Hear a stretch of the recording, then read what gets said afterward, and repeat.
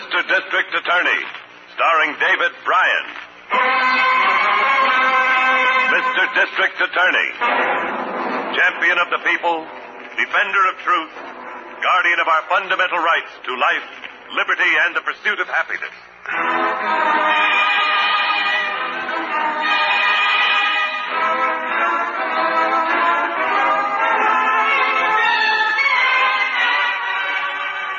It shall be my duty as district attorney not only to prosecute to the limit of the law all persons accused of crimes perpetrated within this county, but to defend with equal vigor the rights and privileges of all its citizens.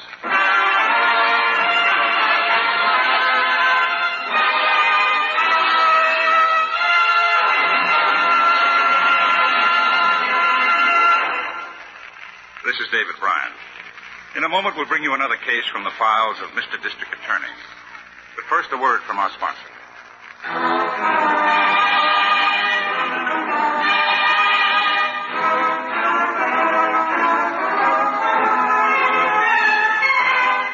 And now, here is our star, David Brian, as Paul Garrett, Mr. District Attorney.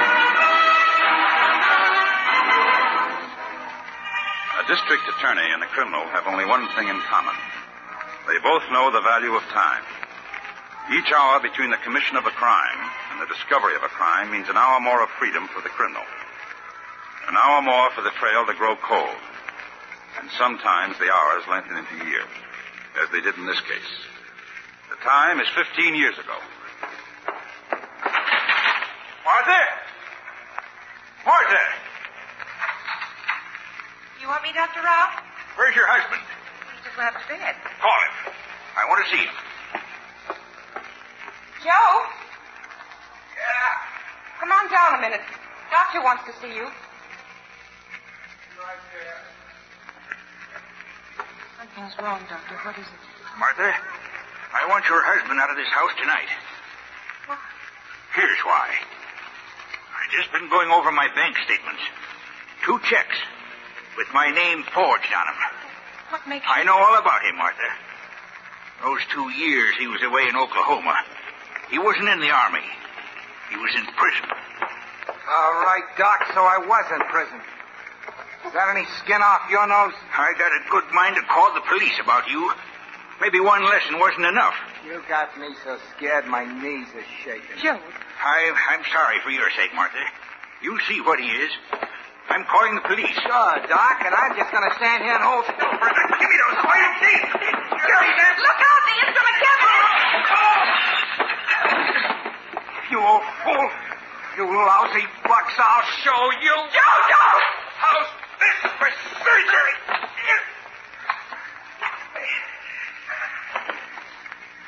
You stabbed him. You Killed him, Joe. Send you to the electric chair. Shut up. You won't send me any place. Because nobody's going to know, not ever. I could write his name good enough to fool a bank. I could do it good enough to fool anybody. Stop falling and grab his feet. What are you going to do, Joe? Gonna take him out someplace and bury him. He was always talking about retiring. Well, now he's retired.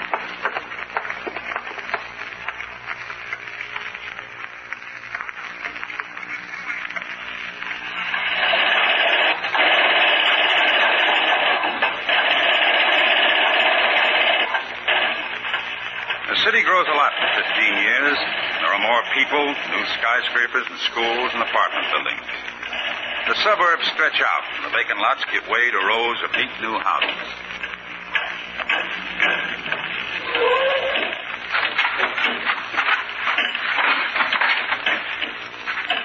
I'll have to walk the rest of the way, Chief. Where? Over by those pipes. Ditch they were digging for the sewer main. Wakeman hit the box while they were excavating. Box looks like a coffin. Mm-hmm. More like a crate of some kind. Big, funny shape. Almost fell apart when they dug it up. You'll see. It's uh, right behind that pile of dirt. Who's that on guard? Malone, 53rd Precinct. This is Beat. Oh, why don't you give him a break? Yeah. Take five, Malone. Get yourself some chow. Yep, there it is. Uh, watch the mud here. a long time, Harrington. Yeah, maybe too long, Chief. Chances are we'll never even find out who he was, no less who killed him. If he was. It's a homicide, all right. You get the medical examiner's report already? No, but uh, look at this. Yeah. Broken scalpel blade. You wouldn't have been buried with that unless it happened to be in his body. Yeah, that figures. With what? The medical examiner said there were two vertebrae chips in the spine. Might have been made by the scalpel if he was stabbed. That'd mean he was stabbed in the back. All the examiner noticed? That's all I heard him mention. Nothing to help us with the identification. No dental work. Yeah, not even a filling. Teeth must have been perfect. What about the box? It'll be taken into the crime lab. Badly rotted, though. Yes. But it must have been pretty solid and expensive crate when it was new. Probably used for shipping a piece of machinery. We can find out what kind of machinery. Might tell us where the crate came from. Maybe. We already know one thing it was used for. Coffee. Yes, but that isn't what it was made for. And there comes the pickup wagon now. Whoever buried this, I guess they never expected it to be found, had she? I guess not, Harrington. Let's hope we're going to have one more surprise for them. Huh? They never expected to be caught either.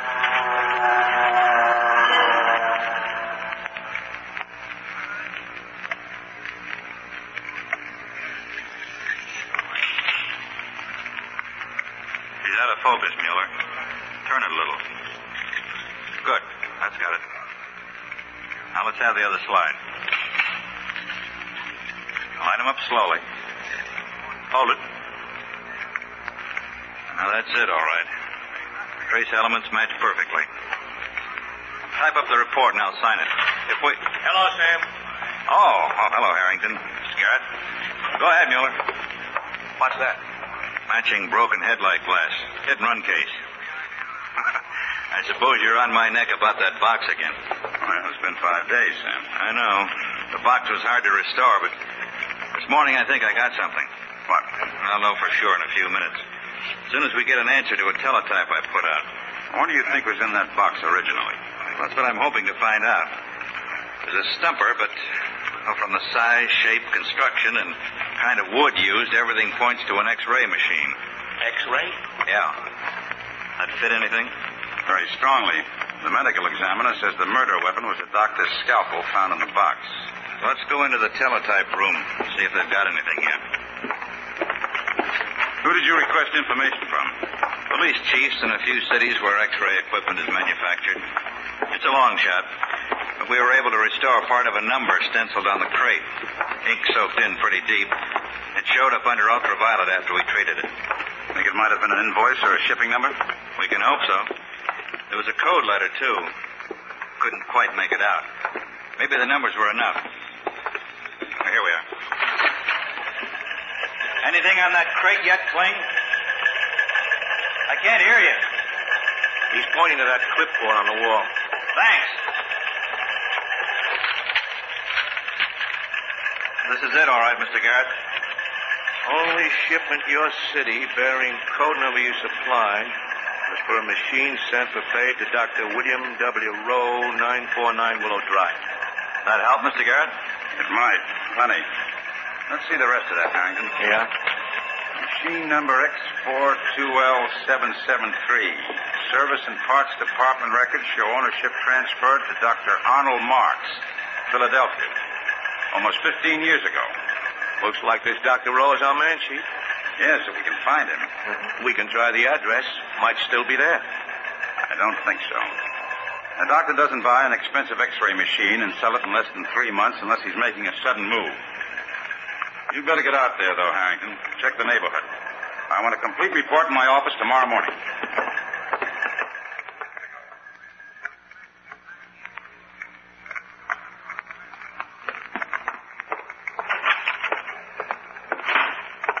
that you, Joe? Yeah. Come in here quick. Is there something else in the papers? No, nothing since that thing last week about them finding the body. What is it? Somebody was around the neighborhood all day yesterday asking questions. About Dr. Rowe? Yeah. Who could it be? That's a pretty dumb question, isn't it? Cops. Who else could it be? Then they must have identified the body, Joe. Oh, how could they? Fifteen years? They must know something or they wouldn't be coming around, Joe. We better get out of here. That's all we have to do. Run. We're gonna sit tight. They can suspect all they want, but if they want to prove anything, they got a long way to go. What are you looking for? That gun. Where I put it. Joe, no, please. Let go of. What good the gun gonna do you? It can only get you more trouble, more killing. Listen to me. You shut up and listen to me. I'm gonna brazen this thing out, and so are you. As far as we can. A lot of thinking and planning and work to get us this place and everything we got. I ain't gonna run off and leave it until I have to. But if I do have to, I'm gonna make sure I can handle anybody who tries to stand in my way. Now, where's that gun? Bottom drawer. Under the tablecloth. That box of bullets down in the basement. Get 'em. Bring some oil and a cleaning rag. Did you hear me? Martha. If they come here, baby, you better watch your nerves. Because if you break, if you give me away, I'm going to have to use this. And I may use it on you first. You understand? Understand.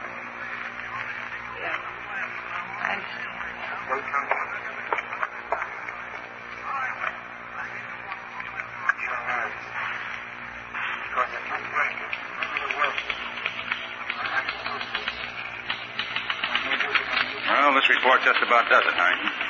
Yeah, I thought so too, Chief. The uh, medical examiner estimates the victim has been dead for 15 years. Dr. Rowe stakes and moved out 15 years ago. He must have been running all right. Sold his house and furnishings to his housekeeper and her husband, eh? Did you see them? Well, I thought you'd want to talk to him yourself. Mail carrier on the route said they used to get letters from the doctor once in a while after he disappeared. I wish we knew who the victim was. Funny that Dr. Rowe could kill a man and get away so clean. No missing persons report filed about the same time. Somebody who might have been the victim. Yeah, not a thing. Don't you think we ought to put out a wanted bulletin? Not that it's going to do much good. Why not?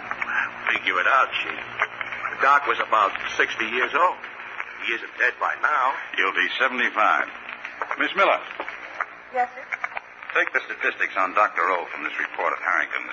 Have the police put out an all points bulletin for his arrest. How shall I list the charge? Murder.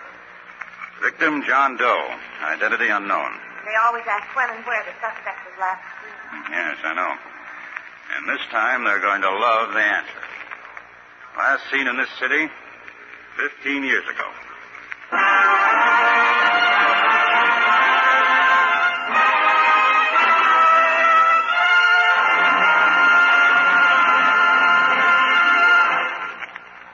This is David Brian. Before we continue with Mr. District Attorney, here's an important message I'd like you to hear.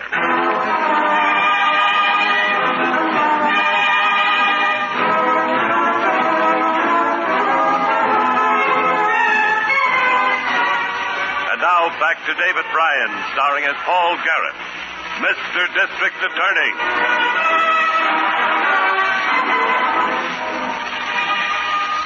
Fifteen years between the commission of a murder and the discovery of it. Our chances of identifying the victim seemed almost hopeless. And our chances of apprehending the killer seemed even more hopeless. Dr. Rowe's picture was on the front page of every afternoon newspaper. But even if he weren't dead, a man can change a lot in 15 years. Only two people might be able to tell us where he was. In the entire world, only two people. See? You see what I tell you, Martha? How's that for a hot one? Doctor sought for questioning about unidentified body. I Joe, told you. Joe. What? Outside of the car stopping. Let me see. Two men looking at the house now. Could it be police? Oh, big one looks too well dressed. Oh, that's Garrett, the DA. Come in. You answer. Don't get rattled. Where are you going? The incinerator. Ditch some newspaper. We don't know from nothing. Go ahead, let him in.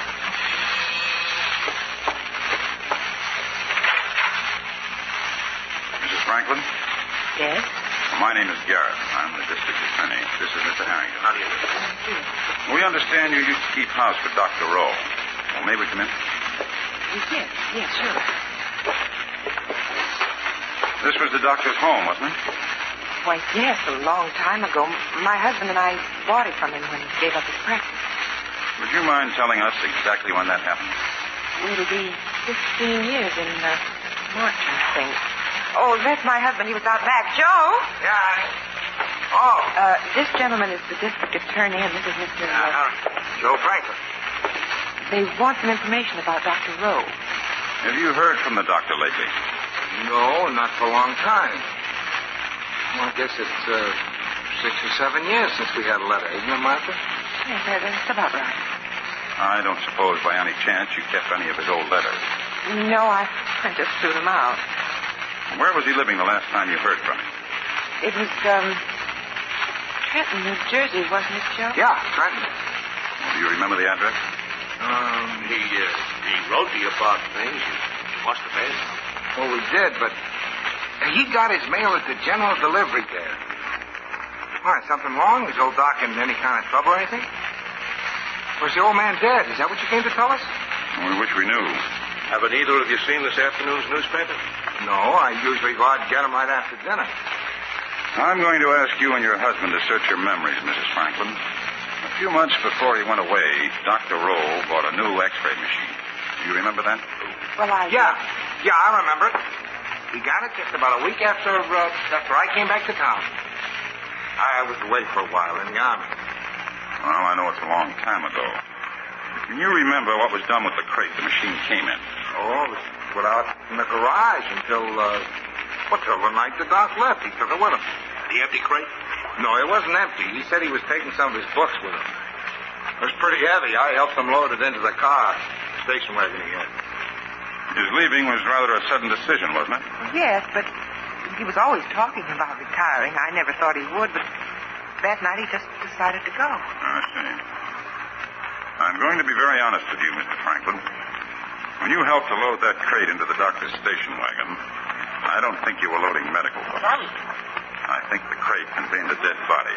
Body? What? Did the uh, doctor have any enemies? You know, anybody was having trouble with? Any visitor the night he decided to leave? Oh, no, not after his regular patients. I... Yes, there were. What? Remember, we heard him arguing with somebody in his office when we were starting upstairs to go to bed. You know who it was? No, the door to his office was closed. Must have been an hour or two later he woke us up and said he'd made up his mind to clear out. Whoever was with him was gone by then. Yeah. Oh, incidentally, what happened to all the doctor's equipment? Couldn't have taken it all with him. No, I, uh, I shipped it off to some other doctor he sold it to. When? Not long after he left. He said he'd be selling the stuff. Then he sent me a letter telling me where to send it. I don't remember the name of the other doctor. Well, that's all right. We do. Come on, Harrington. Right. Goodbye, folks.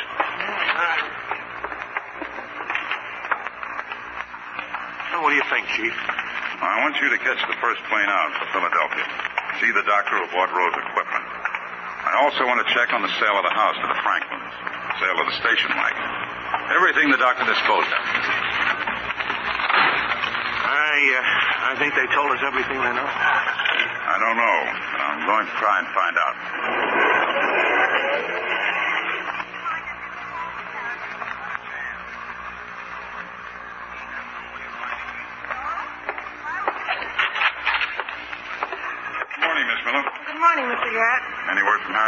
Called from the airport about 20 minutes ago. He's on his way in now. And there's a Mrs. Tibble waiting to see you. She's in your office. Did she say what she wants? It's about the Dr. Rowe case. She used to work for him before the Franklin. I'll see her right away. Oh, there's a few other things, Mr. Garrett. Uh, these records you wanted from the Motor Vehicle Bureau and the County Recorder's Office? They cover the sale of Dr. Rowe's house and car? Yes, sir. All right, take these papers down to the lab. Give them to Sam Jacobs. Tell him I want a comparison of the signatures on these documents with any signatures of Dr. Rowe made before the doctor's disappearance. Probably be able to get them from the state medical license application. Yes, sir.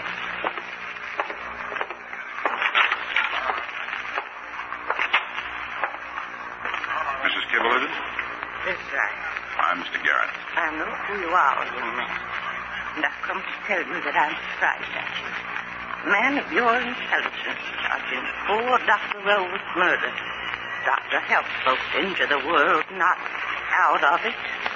Even some of the patients he helped did turn against him and give him a tongue lashing after he retired. What made him do that, Mrs. Kibble? He sent some bills for what they owed him, that's why. I never could understand why he sent them myself. Never sent a bill to anybody before that. Not in the whole 20 years I was with him. I see. These bills the doctor sent after he retired, you know where they came from? From the general delivery in Trenton, New Jersey. Not that I ever heard from him. Twenty years. He never wrote to me after he ran off. Just the same, man. He never killed anybody, neither. You just made me believe that, Mrs. Kibble. Because a man's character doesn't change overnight. If Dr. Rowe didn't send out any bills for 20 years, I doubt if he sent any from Trenton. Patients got him all right. Yes, but I don't think they came from Dr. Rowe. Well, thank you very much for coming in, Mrs. Kibble. Thank you very much. Oops. Oh, excuse me, Chief. It's all right, Harrington. Goodbye, Mrs. Kibble. Goodbye. Who was that? Oh, a woman who kept the house for Dr. Rowe before the Franklins. What did you find out from the doctor in Philadelphia? Well, just that he bought Rowe's equipment from an ad in a medical journal. The most important thing is this. Did he see Rowe personally? No. The whole transaction was handled by mail. Rose's address was General Delivery, Trenton. Harrington, we've been looking for a man nobody has seen in 15 years. Yeah? What did you find? We've been ignoring one possibility, though. Suppose Dr. Rowe isn't the killer. Suppose he's the dead man. Hmm. But how about this stuff Doc sold? And his letters to the Franklins? Sam's running a lab check on the doctor's signatures right now. While I'm waiting for it, you'd better get to the teletype room. Check Joe Franklin's Army record, if any, and ask for a rundown for a possible criminal record in this or other states. Meet me in the lab when you get the answers. Right, Chief.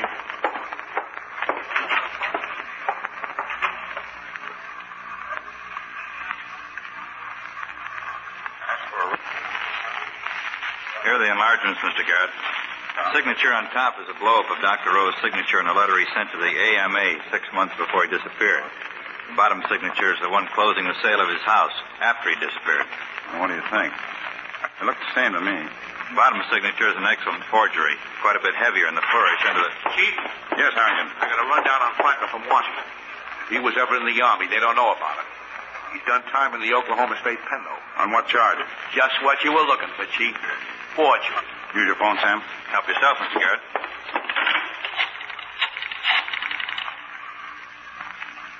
Homicide? This is Garrett. Better get a squad car ready on the Rowe case. Harrington and I will meet him downstairs in two minutes. Let's go, Harrington. Right.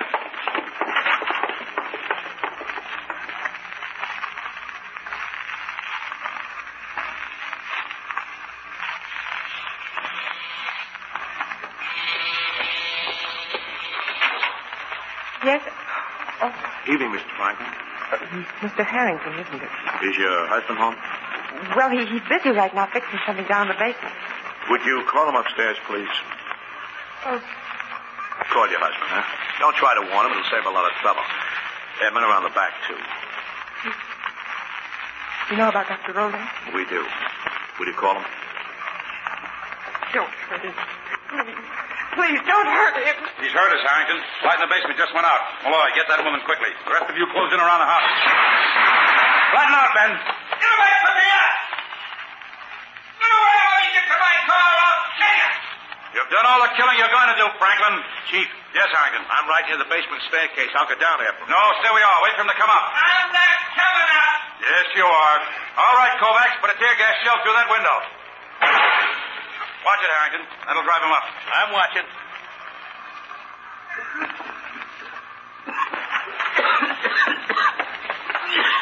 All right, Joe. Throw the gun down. Oh, good. Harrington. I'm all right, Chief. Came up shooting. I had a fire. Radio for Dr. Kovacs. All the doctor can do for him is sign a death certificate. Yeah. Actually, though, he signed his own death certificate.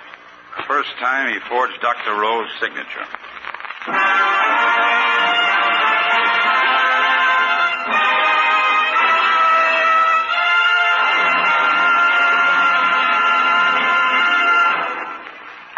This is David Brian. I hope you enjoyed this case from the files of Mr. District Attorney. I'll be back in just a moment after this message from our sponsor.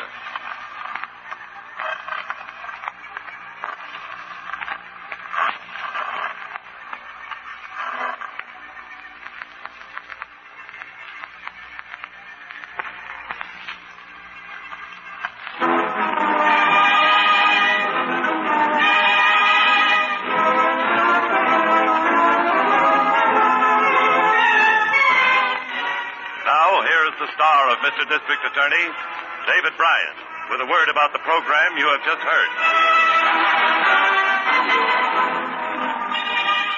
The span of time covered by this case proves again that there is no such thing as the perfect crime, and that no criminal can ever sleep peacefully. Joe Franklin died resisting arrest.